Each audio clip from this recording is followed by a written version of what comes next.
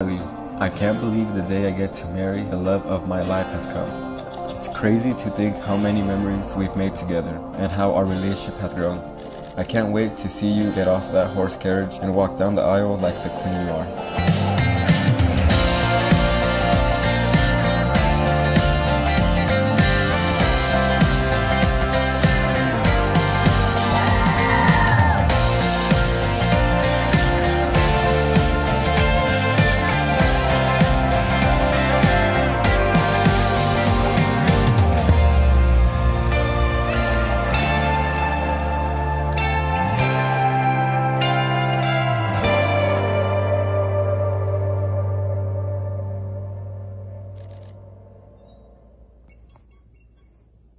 I was about to cry with just a little. I know.